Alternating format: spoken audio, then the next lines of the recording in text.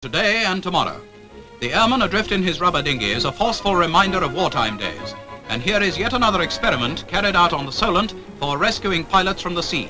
A Sikorsky helicopter in use by the RAF. As soon as the dinghy and its occupant are spotted, the helicopter makes all speed towards them.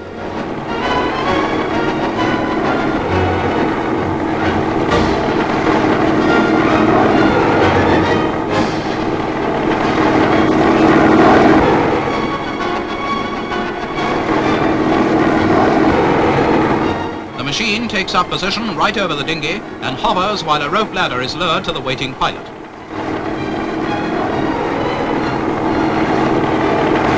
Then up he climbs to safety. With more powerful types of helicopter becoming available, winches will be used to hoist up injured airmen. A successful experiment that should prove its worth in peace and war.